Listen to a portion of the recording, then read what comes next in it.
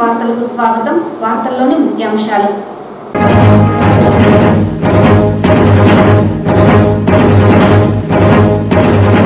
రాష్ట్ర ముఖ్యమంత్రి వైఎస్ జగన్మోహన్ రెడ్డి కళ్యాణ మస్తు పథకం ద్వారా అన్ని వర్గాలకు సముచిత న్యాయం చేస్తున్నారు. చిత్తూరు నగర మేయర్ కలెక్టర్ సగిలి షణ్మోహన్ వెల్లడి.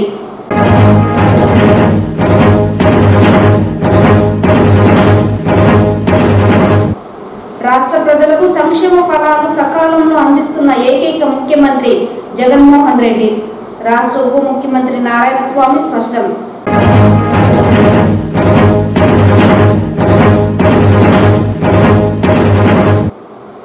నగరపాలక సంస్థ పరిధిలో జరుగుతున్న మనబడి నాడు నేడు పనులను మరింత వేగవంతంగా పూర్తి చేయాలి. ఇంజనీరింగ్ శాఖ అధికారులను ఆదేశించిన నగర కమిషనర్ అరుణ. వార్తల్లోని వివరాలు.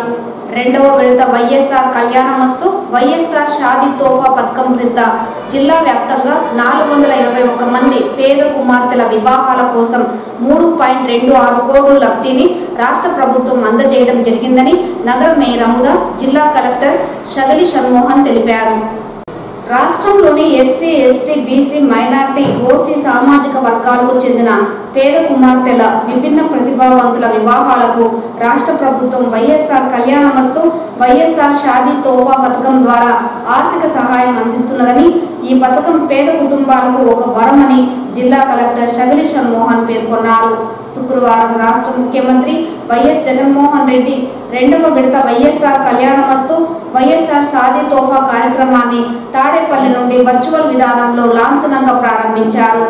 జిల్లా సచివాలయం నుండి వీడియో కాన్ఫరెన్స్ ద్వారా ఈ కార్యక్రమానికి జిల్లా కలెక్టర్తో పాటు నగర mayor Amuda ZP vice chairman Ramya మహిళా శిశు సంక్షేమ స్థాయి సంఘ chairman Bharathi JC Srinivasulu DRDA PD Tulasi వివిధ సంక్షేమ శాఖల జిల్లా స్థాయి అధికారులు మూర్తి చిన్నారెడ్డి నరసింహులు లబ్ధిదారులు తదితరులు పాల్గొన్నారు.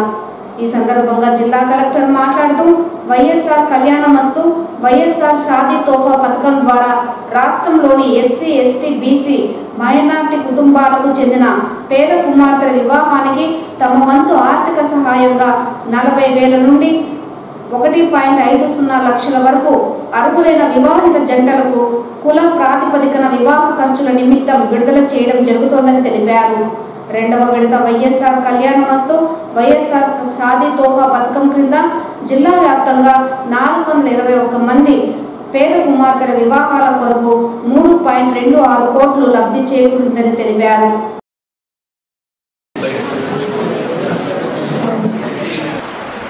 జంటలను ఏకం చేస్తూ వారికి తోడుగా ఉండేందుకు ఎనభై ఏడు కోట్ల ముప్పై రెండు లక్షల డబ్బులు పెళ్ళి కూతుళ్ళ తల్లుల ఖాతాల్లోకి జమ చేస్తా ఉన్న ఒక మంచి కార్యక్రమం ఈరోజు జరుగుతా ఈరోజు జరిగే ఈ మంచి కార్యక్రమం ఊరికినే ఆర్థికంగా ఆదుకోవడం అన్నది కాకుండా ఆదుకోవడంలో కూడా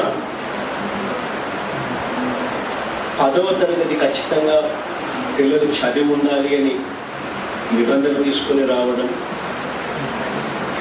పదవ తరగతి దాకా ఖచ్చితంగా చదివి ఉంటేనే రాష్ట్ర ప్రభుత్వం షాదీ తోఫా కానీ అది కూడా ఇవ్వకుండా ఎదురుకొడతాం ఎదురుకొట్టిన పరిస్థితిని ఏకంగా లక్షలు తీసుకొని పోయాం. మారిస్తే మైనారిటీ లక్ష రూపాయల దాకా తీసుకొని పోయాం. రాష్ట్ర ముఖ్యమంత్రి జగన్మోహన్ రెడ్డి ప్రజాపాలన అందిస్తూ అన్ని వర్గాల సంక్షేమానికి ఎనలేని కృషి చేస్తున్నారని రాష్ట్ర ఉప ముఖ్యమంత్రి నారాయణ స్వామి పేర్కొన్నారు.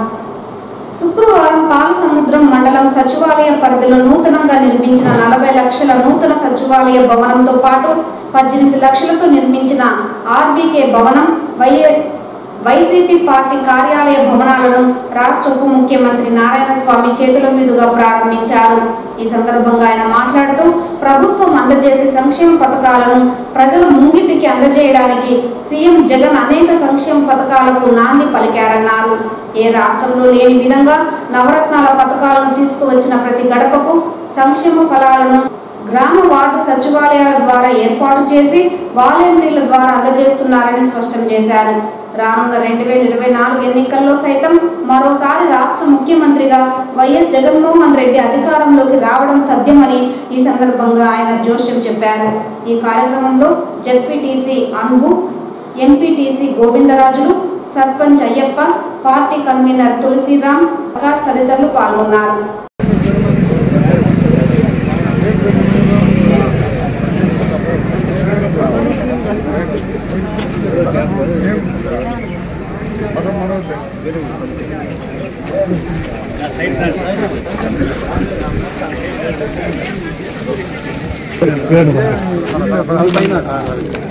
ఎవరు వాళ్ళ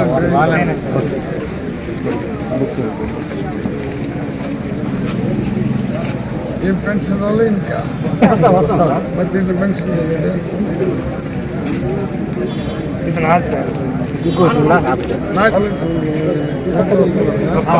చెయ్యి తమకు పడుతున్నది ఏ చెయ్యి జగనన్న వచ్చిన జగనన్న గుర్తు అది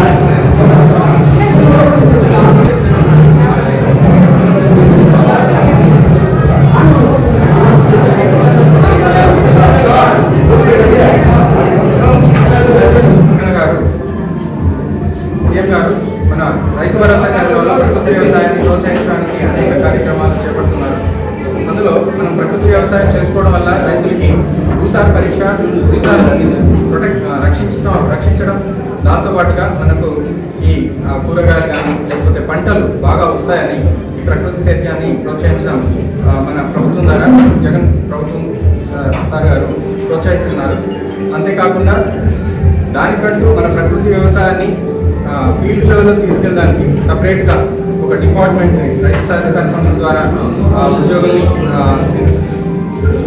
వాళ్ళని అపాయింట్ చేసుకొని వాళ్ళందరినీ కూడా ఈ రైతులకి అవగాహన చేర్చేలా చేస్తున్నారు. ఈ ప్రకృతి వ్యవసాయాన్ని చేసుకోవడం రైతులకి ఎంతో లాభంగా ఉంటుందనేసి నేను కూడా వ్యవసాయ శాఖ తరఫున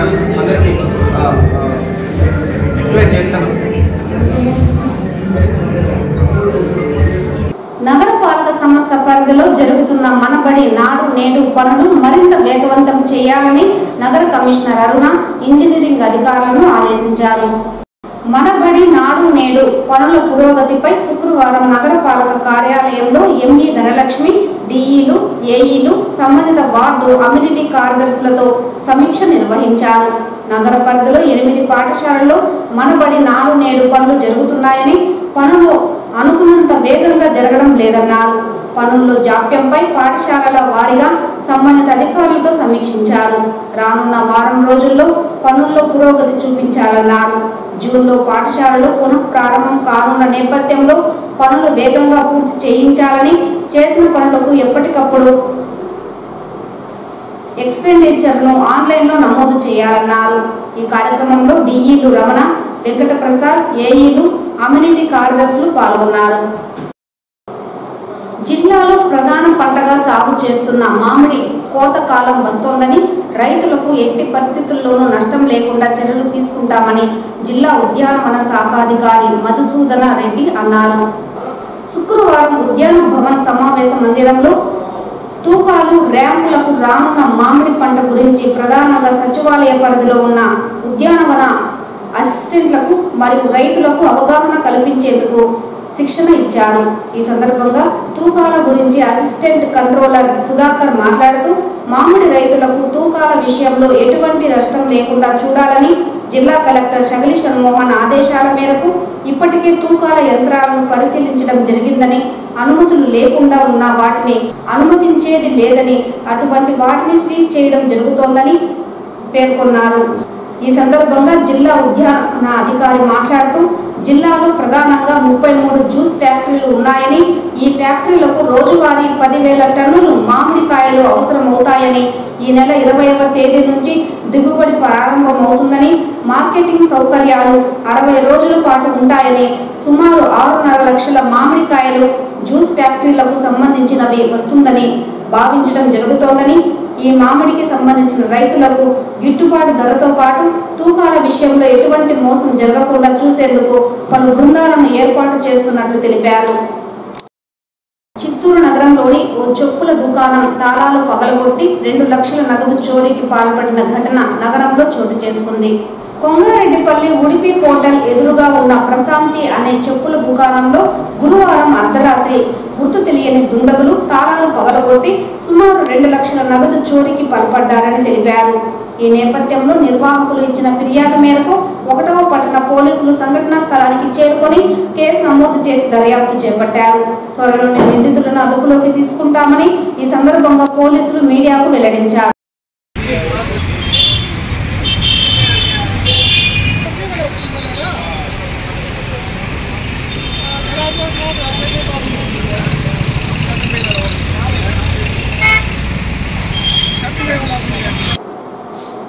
కేంద్రంలోని బీజేపీ మోడీ ప్రభుత్వం ఐదు వందల రూపాయలకి మహిళలకు వంట గ్యాస్ను అందజేయాలని ఏపీ మహిళా సమైక్య నేతలు డిమాండ్ చేశారు. శుక్రవారం చిత్తూరు నగరంలోని ఎస్టీయూ కార్యాలయంలో ఏపీ మహిళా సమైక్య జిల్లా కమిటీ సమావేశాన్ని ఏర్పాటు చేశారు.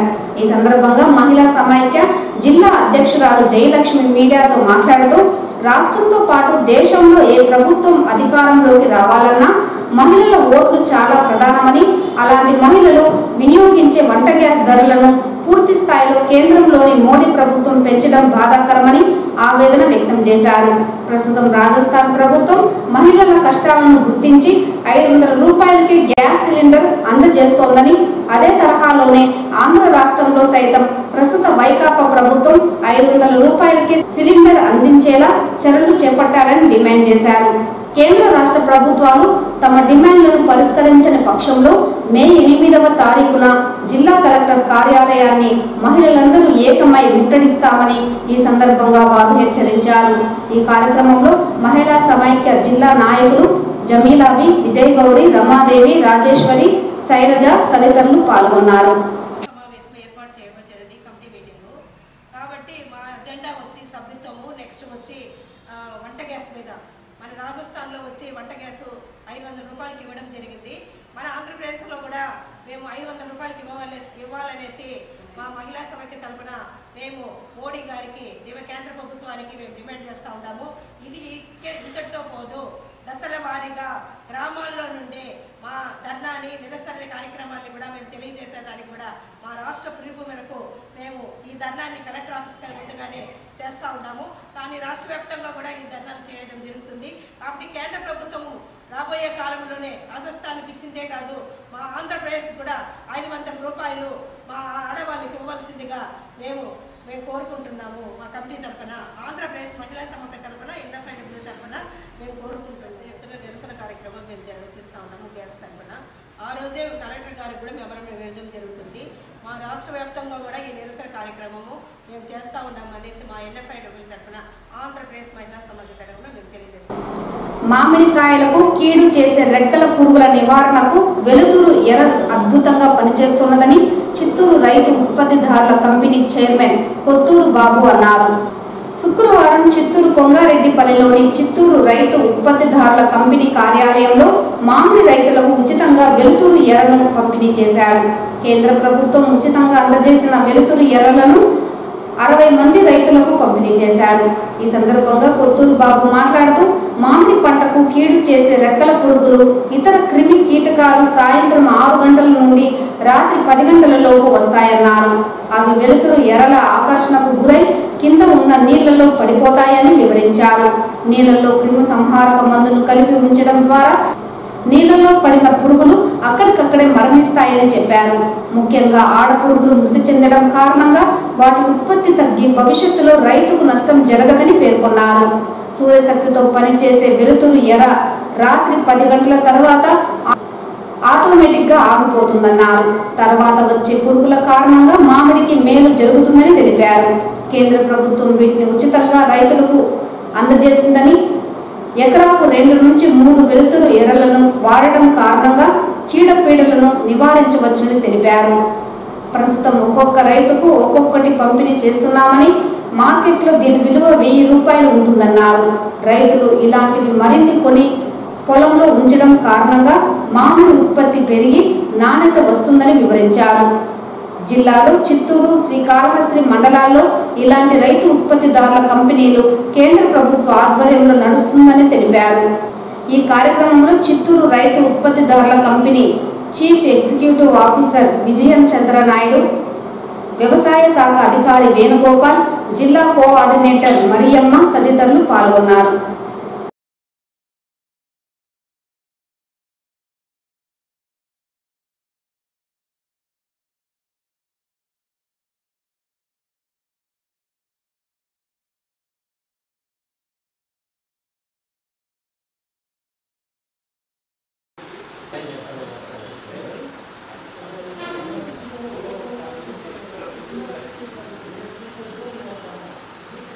so farmers produce organisation company రైతు ఉత్పత్తిదారుల కోసం చిత్తూరు మండలంలో రైతు రైతు సంఘాలని ఏర్పరిచి వీళ్ళకి ఒక సంఘం ఏర్పరచమని కేంద్ర ప్రభుత్వము సుమారు పదివేలు ఈ యొక్క భారతదేశంలో పదివేలు ఎఫ్ఈఓలు పెట్టించినారు. ఫార్మర్స్ ప్రొడ్యూసర్ కంపెనీ రైతు ఉత్పత్తిదారుల సంఘం అని పదివేల కంపెనీలు పెట్టించినారు. దీంట్లో వివిధ రకాలుగా టమాటా రైతులు సంఘాలు ఉన్నాయి మామిడి రైతులు ఎక్కువగా మన జిల్లాలో మామిడి రైతుల సంఘాలు ఉన్నాయి మన స్టేట్లో ఎక్కువగా మామిడి పండ్లు ఇలాంటివి టమేటాలు టమాటాలు వీళ్ళందరూ కూడా సంఘాలు ఏర్పాటు చేసినారు. ఈ మాదిరి భారతదేశం మొత్తం కూడా సంఘాలు ఏర్పాటు చేసింది. ఎందుకంటే దళారీ వ్యవస్థ లేకుండా మూడో వ్యక్తి వచ్చి మన దళారీలతో మన దగ్గర దోసుకోకుండా మన రైతులు పండించినవి మనమే ఐక్యమత్యమై పక్క రాష్ట్రంలో ఇప్పుడు ఈ మ- బేనిషా కాయ చిత్తూరులో ఇరవై రూపాయలు అమ్ముతా ఉంది. పక్క రాష్ట్రంలో నలభై రూపాయలు అమ్ముతా ఉంది కర్ణాటకలో. అంటే ఈడ నుంచి మన డబ్బులు ఉంటుంది రైతులవి. ఈ రైతుల డబ్బుతో సో ఆడికి సప్లై చేసి రైతుకు మంచి గిట్టుబాటు ధర ముప్పై రూపాయల పైన రైతుకి ఇచ్చి ఆ ఖర్చును తీసేసి ముప్పై రూపాయల పైన ఇస్తే సంతోషం కదా. ఇరవై రూపాయలు అమ్మే బదులు ముప్పై రూపాయలు అమ్మడం. ఆ విధంగా దళారీ వ్యవస్థ లేకుండా చేసుకోవడానికి మన సంఘం ఏర్పాటు చేసుకున్నాం ఈ యొక్క సంఘం కూడా ప్ర- మనం వెయ్యి రూపాయలు ప్రతి రైతు కట్టుకుంటే ప్రధానమంత్రి కూడా వెయ్యి రూపాయలు ప్రోత్సాహంగా మనకి ఇస్తూ ఉన్నారు. అట్లా ఎన్ని మంది చేరితే ఇప్పుడు మూడు వందల మంది చేరితే మూడు వందలకు మూడు వందలు మూడు ఆరు మూడు మూడు ఆరు లక్షలు అయింది. ఇది రాబోయే రోజుల్లో ఇది ఇట్నే డెవలప్ అయితే పది లక్షలు అవుతాయి ఇరవై లక్షలు అయితే కోటి రూపాయలు కూడా అవుతుంది మనం అందరూ సహకరించి ఐకమత్యంగా ఉన్నప్పుడు ఐకమత్యంగా ఉండేదని నేర్చుకుందాం మనం అందరూ సంఘాన్ని డెవలప్ చేసుకుందాం ఇది ఎక్కడ కానీ ఏ చిన్న తప్పు జరిగేదానికి లేదు. ఇది గవర్నమెంట్ వచ్చిన నుంచి వచ్చిన చిత్తూరు కలెక్టర్ గారు హార్టికల్చర్ ఆఫ్ మనకు వచ్చిన దాన్ని కేంద్రం నుంచి వస్తే కలెక్టర్ గారికి వస్తే కలెక్టర్ గారు హార్టికల్చర్ ఆఫీసర్ ఇస్తే హార్టికల్చర్ ఆఫీసర్ మనం ఎవరైతే సేవ చేస్తారో వాళ్ళ పేరు సూచించడం వాళ్ళు మనల్ని అడుక్కోవడం వల్ల మనకి ఈ సమస్య వచ్చింది. నేను మీకు ఎప్పుడు కూడా సేవ చేయదని నేను రెడీగా ఉన్నాను. కాకపోతే మరీ ఎక్కువగా కోపంగా అరవద్దండి. ఈ సంస్థ ఉండేది మీకోసం. దైవ సాక్షి కూడా మీకు అందరికీ మేలు చేస్తాను. దీని గురించి కొంచెం ఎక్కువ ఉంది. అందువలన మనము ఈ ట్రాప్స్ అనేది ఒకటి డిపార్ట్మెంట్ వాళ్ళ తరఫు నుంచి ఇస్తా ఉన్నాము.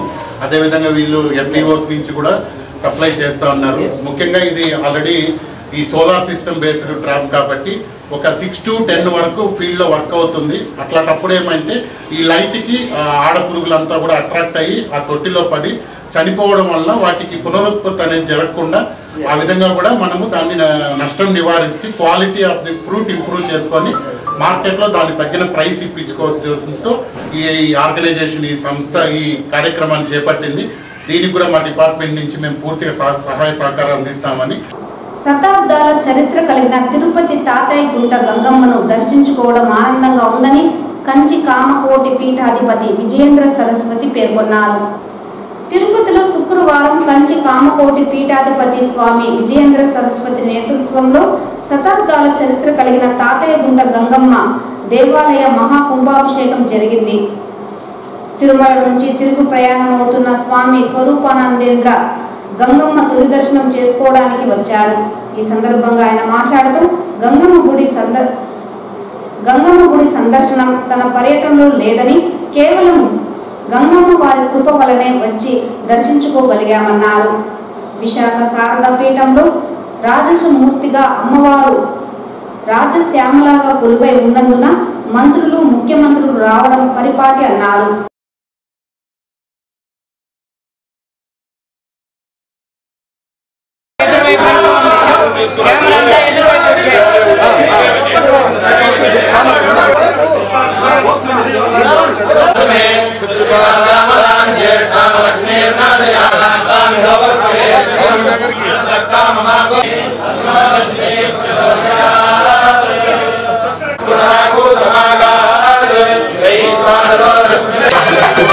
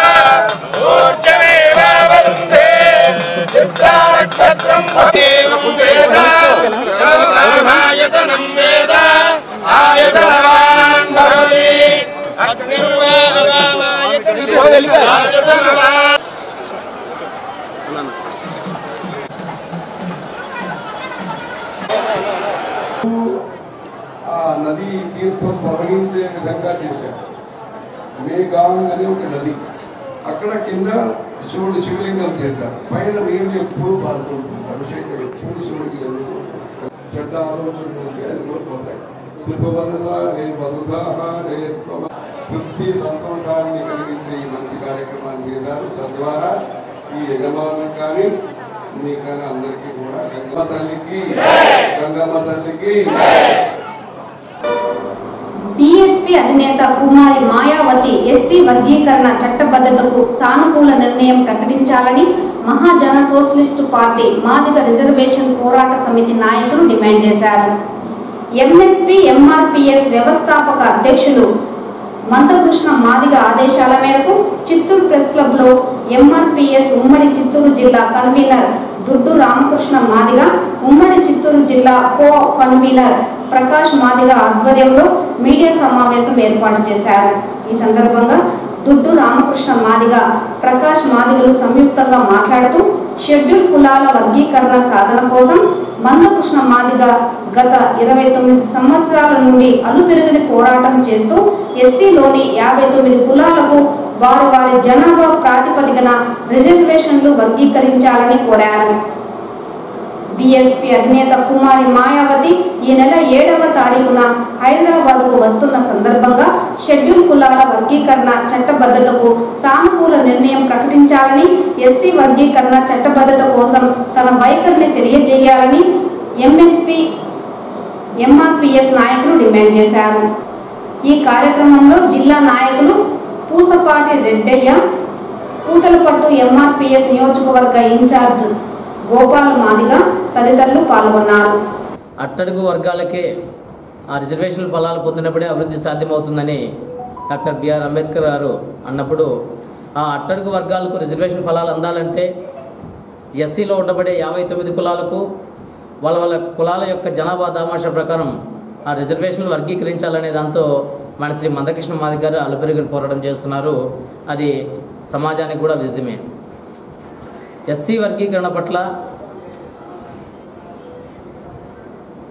బీఎస్పీ అధినే అధినేత కుమారి మాయావతి గారు హైదరాబాద్ వస్తున్న సందర్భంగా ఏడో తారీఖున హైదరాబాద్ వస్తున్న సందర్భంగా ఎస్సీ వర్గీకరణ పట్ల సానుకూల నిర్ణయం ప్రకటించాలని ఎస్సీ వర్గీకరణ కోసం ఎస్సీలో ఉండబడే యాభై తొమ్మిది కులాలు ఆర్థిక రాజకీయ సామాజిక విద్యా వైద్య రంగాలలో అభివృద్ధి కావాలంటే వాళ్ళు ఖచ్చితంగా వర్గీకరణ పొలాలు అన్ని కులాలకు వాళ్ళ వాళ్ళ జనాభా దామాష ప్రకారం వర్గీకరించాలనే డిమాండ్తో ఎం ఎంఆర్పిఎస్ పోరాటం చేస్తుంది.